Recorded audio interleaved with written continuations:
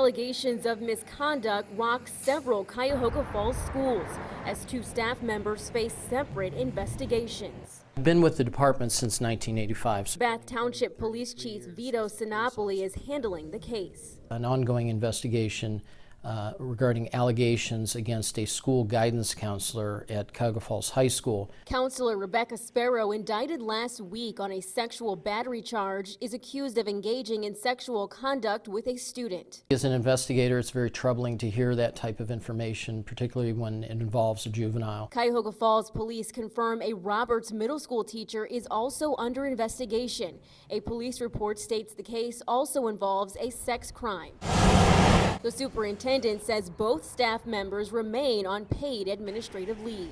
It really stems from the entire relationship between a, a teacher or someone in a, um, um, a position of authority uh, and their ability to control someone um, in a subordinate position, whether it be a student or otherwise.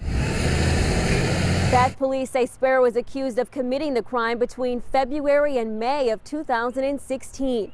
They encourage victims to come forward no matter how long ago the crime may have occurred.